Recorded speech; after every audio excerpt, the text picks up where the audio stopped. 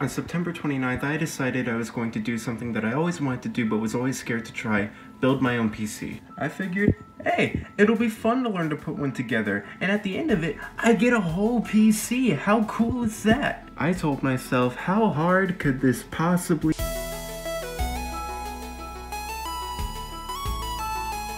We begin this journey with a parable that I like to call Get Screwed. These are M.2 screws. As you can tell, they're incredibly small because they are meant for M.2 SSDs. Don't know what those are? Don't worry, because I didn't either. This manual, which came with these screws, basically only says that their purpose is for SSDs. Long story short, I open this bag thinking I'm going to need these screws, and I drop them in a carpeted room.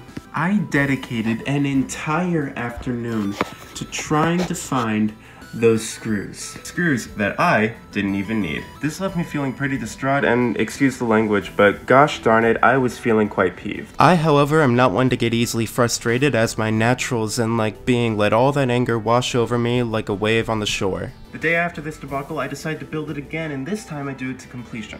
However, there was a problem. So generally when you turn a PC on, it looks like this. Beautiful, right? However, when I turned mine on for the first time, it did something more along the lines of this. And that's when I figured out something was wrong. So I take it to a repair guy and he says, hey, your motherboard is bad. And then I go, no, you're bad. And then he says, dude, I'm just doing my job, don't take it out on me. And I say, my sincerest apology. A week goes by and all of a sudden everything seems different.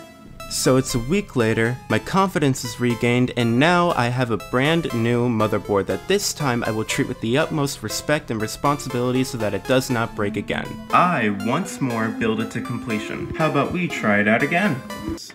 Death, death, death, death. Well, that's new. So I waltz back to that PC repair shop. And what does he show me? So he takes a look and shows me this on my CPU. The pins on my CPU got bent. So what does this mean? It means you gotta replace your CPU! Okay, sucks, but reasonable. And your motherboard! Now why would that be the case? You make a tough point, Chief. Let's just get an RMA from Best Buy and get this over with. Wait, what?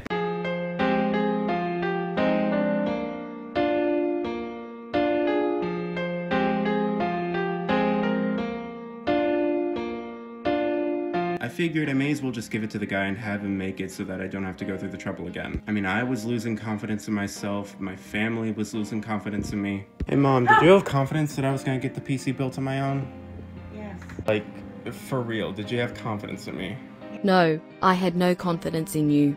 You sure proved me wrong. How sad. Safe to say I was at a crossroads. I went back and forth in my head whether or not to try and build it myself as I waited for the CPU to arrive. I figured I'd just give it to the guy at the repair shop so that he'd make it and I won't have to go through the trouble once more. Then I thought, no. I don't know what masochistic tendency suddenly arose within me, but for some reason, I wanted to give it another shot. I once again waited for the parts to come back so that I could get building as soon as possible. When the parts got here, I started building very quickly for what would be the very last time I would build that PC to completion. And lo and behold,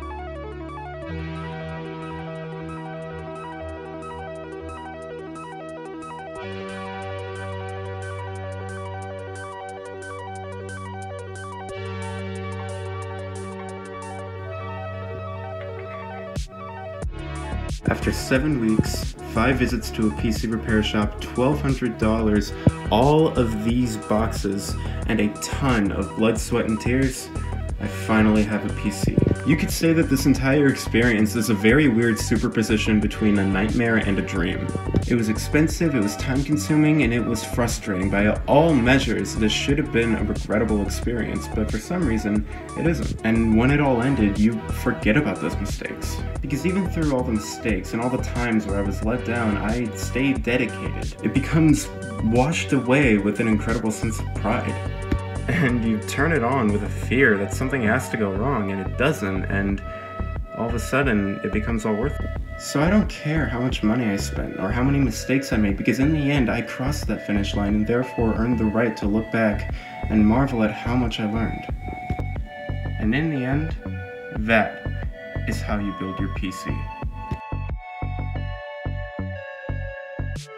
Oh my god, I almost forgot. I've literally been waiting to do this for the video and I almost forgot to do it. Holy shit. Take this off.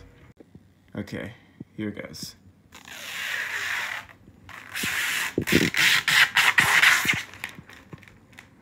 Oh my god, that felt awesome.